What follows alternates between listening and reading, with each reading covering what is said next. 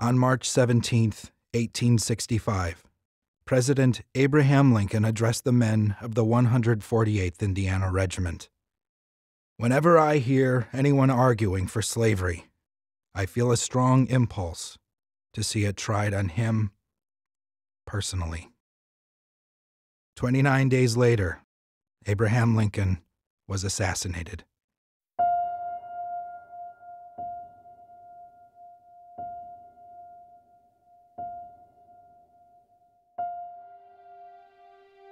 We will never truly know Abraham Lincoln's personal motivation for crafting the Emancipation Proclamation. And perhaps his reasons are of no consequence today. Through a unique collaboration with the National Archives in Washington, D.C., the Henry Ford was granted the privilege of displaying the actual Emancipation Proclamation for 36 hours. The Henry Ford planned and prepared for this once in a lifetime event, but had no way of knowing exactly how many people would come to see it, or the impact it would have not only on visitors, but members of the Henry Ford staff.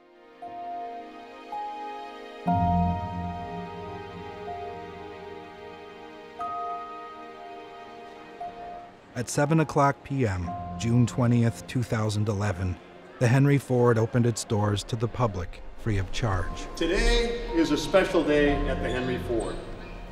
It is wonderful to welcome you here tonight to what truly is a once in a lifetime event.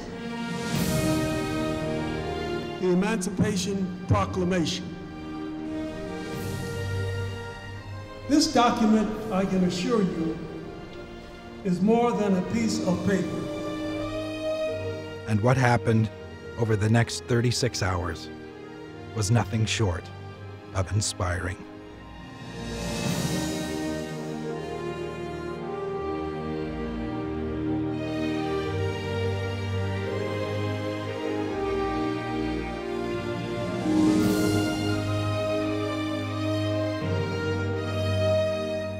On they came people of all ages and from diverse backgrounds.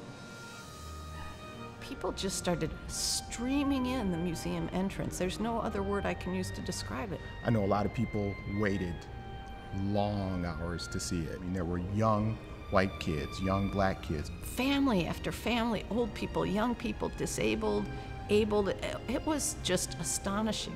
On they came. Not to debate history or civil injustice, but to take part in something larger than themselves. One woman had commented, I've been on my feet for seven hours, but slavery was a lot longer.